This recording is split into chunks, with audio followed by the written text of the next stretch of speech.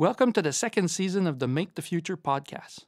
I'm your host, Jacques Beauvais, Dean of the Faculty of Engineering at the University of Ottawa. Join us as we have conversations with different thought leaders about current issues facing the engineering industry. Let's explore the future of technology and innovation and how, through creativity and collaboration, we can make the future. They say the future is coming, but that's not true. The future is already here. And it's relentless. It's not going to wait for you to catch up. How will we live in this future? How will we make sense of it? To define our course, we need a new perspective. One that engages our curiosity, that activates our imagination, one that defies the conventional. To own the future, we need to do more than just see it. We need to make it.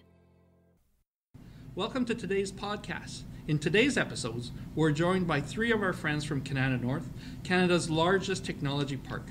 Not only are these individual leaders in industry, but they're also proud University of Ottawa alumni.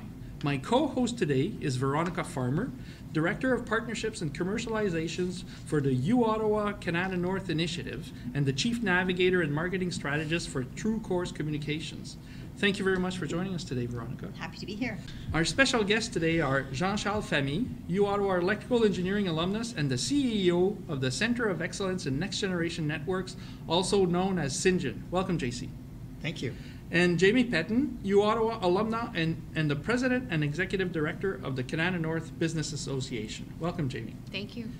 So, one of the questions we want to sort of address um, in this season is how do we make uh, a real competitive technology park work? What makes it tick? How does it function? And of course, from our perspective, what kind of a role does a university play in that? So, could you perhaps, Jamie, just give us a little bit of history as to when it officially became a technology park? Yeah, absolutely. So, we're here in, in Kanata North, which is Canada's largest technology park. And today there are over 540 companies and 24,000 plus employees here in Kanata North. Um, but there is a a unique uh, history to Kanata North that dates back 30 to 35 years. Um, and it all originates with the founding of Mitel uh, and a number of our you know, telecommunications companies here in Kanata North. Um, that uh, created uh, a, a, bed of, of success with Mitel and then subsequently Newbridge Networks um, that inevitably formed our uh, foundation of talent here in Kanata North. Uh, many of those senior executives, uh, as well as you know managers uh, uh, and and contributors within the early days of Mitel and Newbridge Networks, they they exited and spun out their own companies in Kanata North, and that then you know with a compounding effect um, created a, a, diverse ecosystem here over the past 30, 30 years. Um, we now see a number of subsectors as a result, telecommunications being our history, mm-hmm. um, which has now you know, evolved into next generation networks. We have uh, connected and autonomous vehicles work here uh, with the uh, BlackBerry QNX Center of Excellence uh, and a number of others contributing to that. Software, software as a service. We even have you know companies within the life sciences sector, all uh, creating this very dynamic ecosystem that we here have here in Kanata North as a tech park. How different is it from other technology park? Is it that diversity, or or what makes it special? Yeah, I think it is the diversity of subsectors. I think in addition to that, you know, the long history uh, and, and track record and success that exists here as well. Um, and uh, the talent, the talent that we have here spread across multiple generations with uh, varying skill sets. Uh, of course, you know, our R&D uh, aspect of the park tends to be the focus. Um, and there's, you know, an, a strong engineering uh, a talent here in Kanata North. But in addition to that, you know, we have other uh, uh, tactical and strategic uh, contributors from a marketing, operations, finance perspective uh, that all make the companies themselves um, you know, holistically run uh, and contribute from a global perspective. Uh, and I guess I'll just add one more point in that, you know, our companies here in Kanata North range from companies that were founded here and started here as Ottawa-based, Kanata North-based companies that have grown into global multinationals, but we also have uh, you know, global multinationals that have uh, R&D centers here as well. And so there's this really dynamic mix of local talent and local companies that have been founded from the ground up, uh, mixing in or, or, merging with those that are um, multinationals that have come here uh, to work with both the companies and the talent that exists here. CENGN was founded as a center of excellence for commercializations and research, right? Is it through the the, the, the NSERC CSER program that it was created? Yes, uh, CENGN's original mandate came uh, through funding from NCE's CSER program five years ago mm. Um, with uh, a mission of accelerating the commercialization of innovation in the ICT sector in Canada and improving the global competitiveness of Canadian technology, innovation, and, and companies uh, in Canada. Um, that uh, mission was uh, reinforced and even expanded, if you'd like, through um, uh, then a subsequent partnership with the government of Ontario about two and a half years ago. So the company now has uh, very solid partnerships with both the federal government and the Ontario provincial government. So your members are companies? Yes. So our our ecosystem is wide and varied. Uh, obviously, our government partners are key parts of our ecosystem. Mm-hmm. But in the operationalization of our mission, um, our ecosystem includes um, our members who are technology leaders uh, nationally and internationally. Uh, companies like Bell, TELUS, Cisco, Juniper, Nokia, and you know Mitel and several others um, as well as the, the rest of our ecosystem includes the SMEs, the startups and the scale ups that we support, and the academic institutions that we partner with um, in, in some of the elements of our mission. So we have, we have a wide ecosystem, it's, it's broad and varied, uh, which um, ultimately I think is one of the core strengths of the organization. How do you see the park from that perspective? So you were mm-hmm. at KNBA before, now you're, you're working with the university. What are your what drew you to to to this role now working with the university so what's interesting about this park is there's an awful lot of collaboration and partnership that has happened. In fact, the innovation curates itself by ensuring that there is collaboration, even in a competitive landscape. Mm. And I think the interesting part about that is there is partnerships at all different levels, whether it be at the government level, the academic level, and amongst the companies themselves. Um, Jamie mentioned the connected uh, car and autonomous mm-hmm. vehicle ecosystem. It is a subsector within in the park, but is thriving mm-hmm. because there is an ecosystem of partnership that happens. Uh, both competitive and collaborative.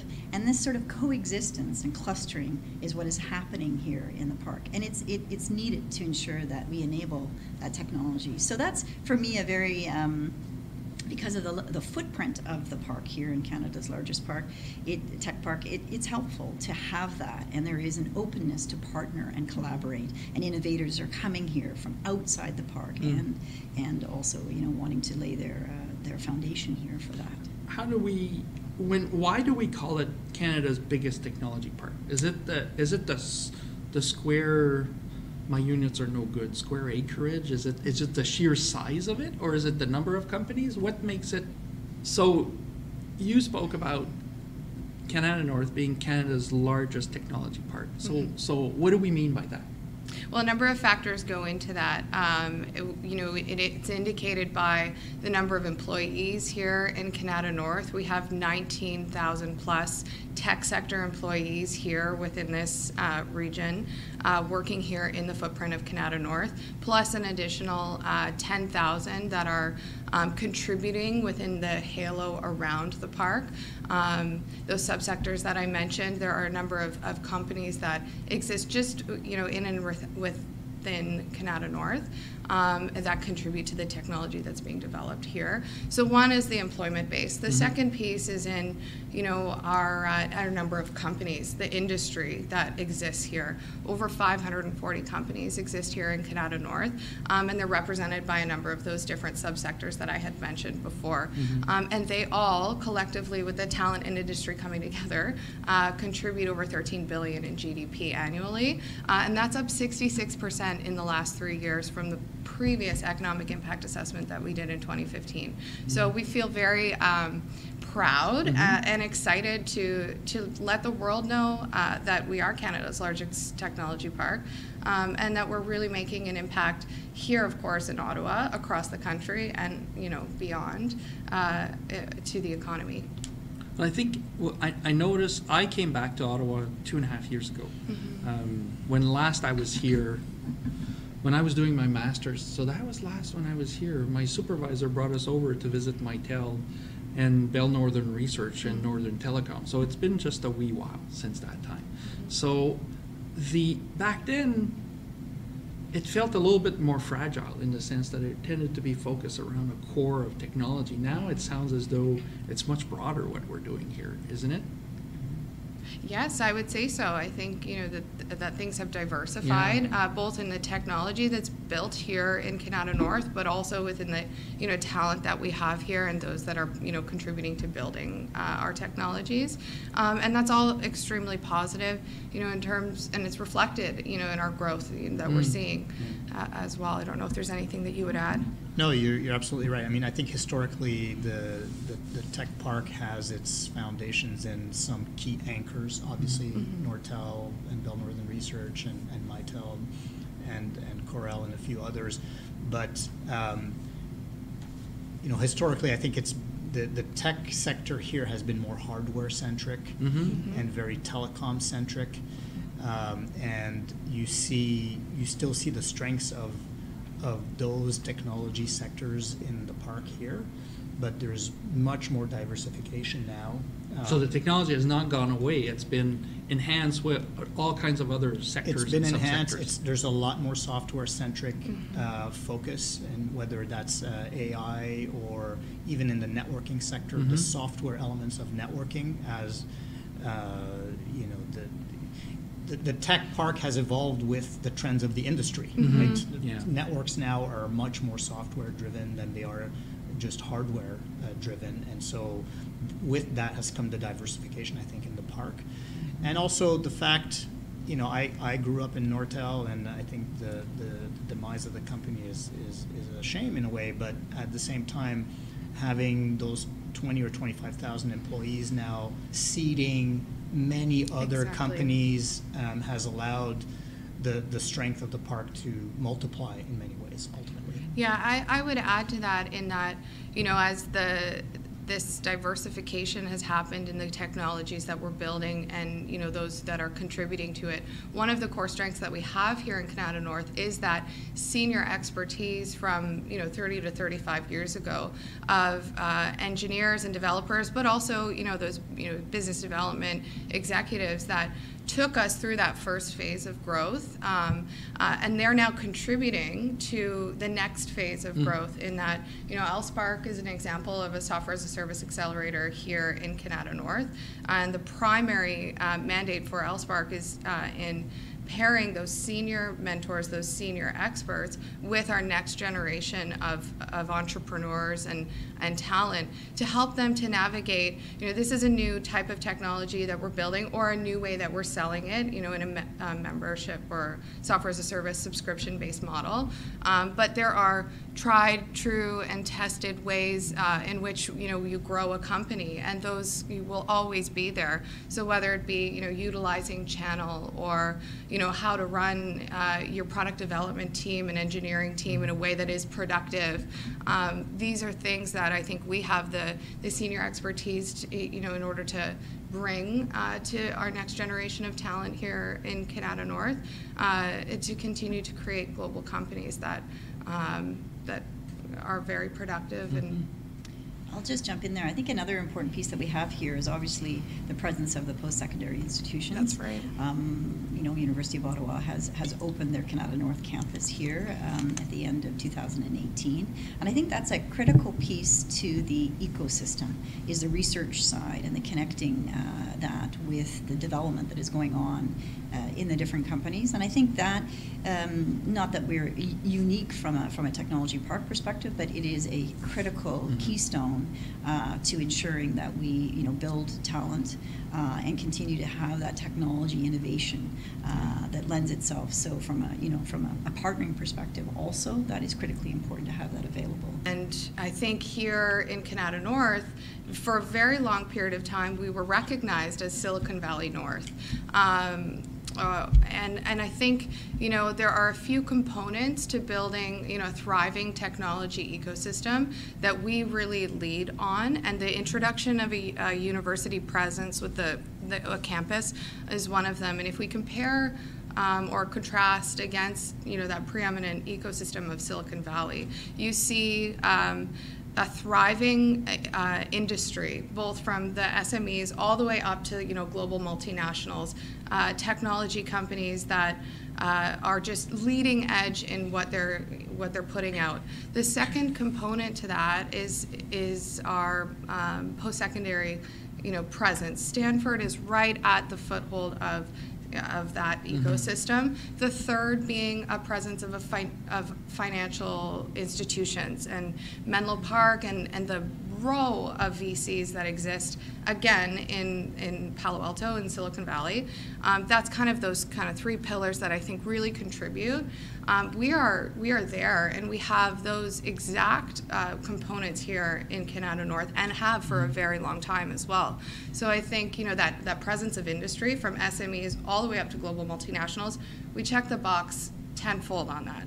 Um, this now introduction of a presence of a uh, uh, post-secondary institution here, again, a great way of connecting talent, research, and also professional development to you know the companies here in the park. What can we work on next? I think that financial presence mm-hmm. uh, in having you know those uh, institutions here from uh, venture capital to lending. Um, you know, even to those angel investors that have exited and, and are back in the park. That activity happens here. Um, how do we all, how do we bring that all together in a narrative that makes makes sense? And I, I think we have an advantage here, even to when Silicon Valley was starting, because it was built off of land belonging to Stanford initially. Mm. And, and in my previous life at another university, we were developing a science park on the line owned by the university. Mm. And the challenge in Canada, because of the nature of the public universities and all that, it's actually kind of tricky to make that space attractive to companies to come mm. but play under their rules. Mm-hmm. Whereas here, it's it's built for the companies. That's right. And we've come here to to uh, a year ago to to bring in hopefully everything we can bring to the ecosystem, but I think for the companies, it's it uh, the rules are the rules of really indus- industry. That's right. And I think that's an advantage. Yeah. So so you talked about collaborations. So did Jamie. So did Veronica. What are you looking for in terms of collaboration? And and and as a sub question, you've got leading international competing companies. How easy is it to get them to collaborate together? So the the rallying point for the collaboration of all of these different uh, companies who come from maybe different sectors or maybe who compete directly in, the, in our day-to-day work lives is, is belief and support for the mission of the company, which is to enable a competitive, growing, innovative tech sector in Canada. Um, and then, you know, beyond that, you know, competition is um, is is okay. it's know, healthy. Competition yeah. is fuel for innovation. Yeah. Um, so CENGN is a place physically and um, virtually where competing companies can come and collaborate, mm-hmm. um, whether it's in an, an, ecosystem of partners towards the programs that that we put in place to help the Canadian ecosystem, or whether it is very tangibly, very physically in our test bed, in our technology infrastructure, where you can come and test the latest innovative technologies um, in an open environment. Um, so the, the openness um, and the collaborative nature of a competitive ecosystem is, is one of the pillars of our mission. At the same time, we take the, the uh, intellectual property imperatives of our members very seriously. And I remember when I was reading, when I was trying to develop that science park, I'd done some reading on, on the ecosystems. And one, a really interesting paper about the Waterloo region in 2008 it was. What it was saying is that the students were leaving the university to go to a co-op internship, learning a bunch of stuff there, mm-hmm. coming back to the university, bringing it back to the university and mm-hmm. influencing the profs, the course, and, and all mm-hmm. that, and then going to a different company for another internship, so that it was essentially a cross-pollination type of Yeah, of system. And and to me that that was clearly a key element, and I think the critical mass that there is in Canada North and and the size of what we could do at the university now with the, the 6,000 students we have just in engineering, I think we're reaching that point where the more that we we are able to bring the students out there, the more kind of experience you're able to give them really hands on. I think it makes a lot of sense. It should be a winning solution. Yeah, and and it's not just the experiences at CENGN per se, but it's it's the the window into a broader ecosystem. Mhm. So some of the things that we do, for example, is we'll provide students to to do a term with one of our members, Mhm. for example, um, or we'll we'll put them to work towards a specific project charter that uh, is important to industry, right? So it's uh, it's it's creating the dots and it's making sure that we have the continuum of learning from the foundational theoretical aspects to the transition to you know a, a working career to then continuing education Yes. after that Yeah. because that's super important too some of the Mhm. things that we do are is to provide training uh, to people who are already experienced professionals, but maybe need to learn the latest open source software, technology, or wh- whatever the case may be. Because again, the pace of change is, is really fast, and so even people who've been in the industry for 10, 15, 20 years have new stuff to learn every Oh, yeah. day, right? Well, and it's it also on the oth- other side for our companies, you know, it, it enables them to have a competitive advantage because the pace of change is quickly quickly evolving, and you know, with that, these uh, new ways of uh, producing, you know, technology here in the park that the students are contributing, you know, back into the company as well.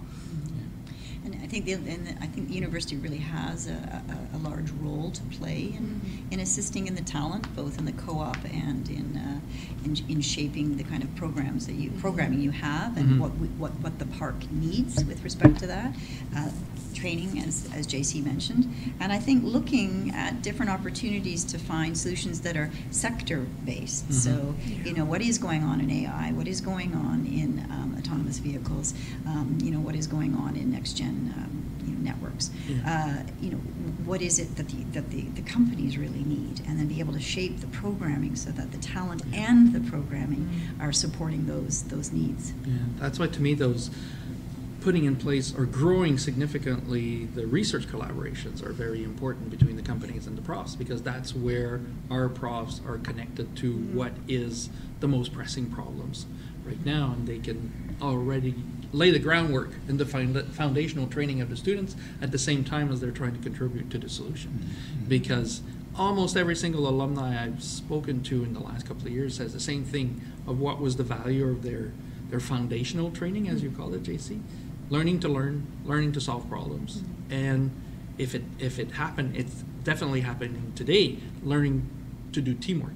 But when you bring it down to that subsector of our connected and autonomous vehicles, you see, you know, we have on like a drive uh, live city infrastructure um, connected on a public test track, Mhm. and um, many of our Kanata North companies are all contributing in and within that BlackBerry QNX, Nokia, Ericsson. So you'll see many of them Mhm. um, all contributing into that, and it's for you know, the, the greater good of advancing, you know, how we are going to operate this technology uh, in real time in the future. And without collaborating with one another on that, their technology will never get to market, and it will not ever get to the point of, of being on the roads in real time. So it's important, uh, and and in addition to that, when we bring that um, you know subsector together into a cluster, if we think about talent again, this talent as they're coming out of university, they're looking again to make an impact and to to solve real world problems. Um,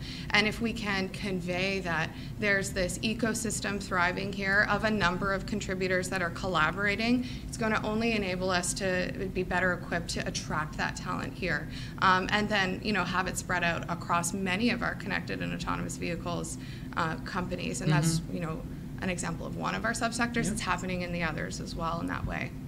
How do we do with startups? Are we good to attract startups into Kanata North? Yes, yeah. I, I mentioned L-SPARK, and that's Mhm. my history. That's where I come from prior to uh, Kanata North Business Association.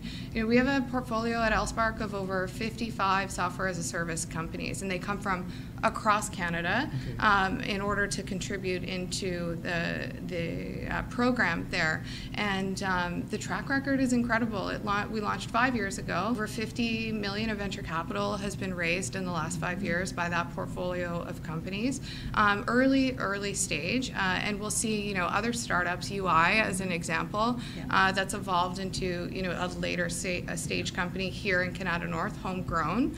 Um, so we, I think, are doing much better than we think. Now it's about conveying how, you know, those startups have grown and succeeded, um, and and. And I think we also need to support them in their next phase of growth.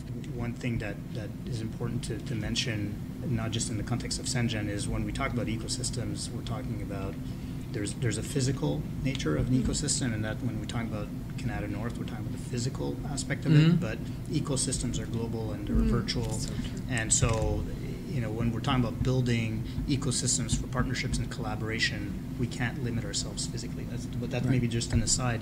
In terms of us attracting students, you know, it's a pan-Canadian mandate that we Mhm. have, and so today in, in, in we have students from Victoria, from Waterloo, from Dalhousie, from other places, obviously from the local schools. Mhm. Um, so attracting students is not the issue. I think attracting full-time talent is a challenge, Okay. and not just for CENGN, for, for our members and for, uh, I think, the, the technology ecosystem in general. And uh, there's, if there was a simple answer to how do we fix that, we, we would have done it already as a, as a community, right? So we have to continue to uh, graduate more STEM students. We have to continue to make sure that they stay in the country, Mhm. or that if they go get experience abroad, as we encourage, as I, I did twice in my career, which I'm grateful for, that you can Mm. come back and you Mhm. bring back that expertise Yeah. um, back to the country because that adds to the fuel for our innovation economy. Um, so yeah, I think I think we have work to do. And back to the question about Ottawa, you know, I'm not an urban planner, but uh, I think it's been shown that creative industries, of which tech is one, Mhm. thrive on creative cities, Mhm. and it's a virtuous circle, right? You, you you bring those creative people, and the, the the city becomes more vibrant, more creative, and it feeds on itself. I'm not sure I imagined this, but I think I saw recently a map of Ottawa where you could fit in Yes, several cities. several within Ottawa. several Canadian cities. Yeah, that's right. So Physically. that- physically, Physically, the Ottawa's size of Ottawa is huge. gigantic, But- and that makes it more of a does, makes it- challenge to it does. connect all of those parts together. But I go back then to my example of Silicon Valley. And when you think of Silicon Valley, that's not one area. It's San Jose, Several. it's San Yeah. Francisco, it's Palo Alto, Menlo Park. It started it's in a one number area, of but them it's under grown, yeah. one. And Yeah. so if we think of our city, it's very, very similar. Yeah. There's um, we talk we didn't talk about this, but we all know the transit and infrastructure issues that we have now as a result of the growth. There are some really interesting examples of how that area and their traffic issues are horrendous have um, from industry solved some of those uh, needs of bringing talent into Palo Alto from San Mm. Francisco because inevitably young people do prefer to live downtown, Yeah. but they may want to have um, you know work that uh, exists in you know a park like this. So you know there's examples of uh, private bus shuttles Mhm. wherein I think it, is it Google or Facebook, one of the two. They'll send a shuttle from Palo Alto every day into San Francisco. There's Mhm. Wi-Fi and potentially cappuccinos available on the bus, Mhm. and it's a productive hour to hour and a half for that talent as they do their commute. Yeah. And it's just an added benefit that those companies have included. I'll see you around Kanata North. I want to thank you all for tuning in on this episode of the Make the Future podcast. I hope you enjoyed the conversation and that you learned as much as I did. Don't forget to follow or subscribe to the podcast to make sure you don't miss the next episode. I would also like to really thank our guests and the podcast production team Carl Borns, Valérie Sanson, Karen Massé, and Francis Bertrand Lafrenière. And I really hope you can join us next time.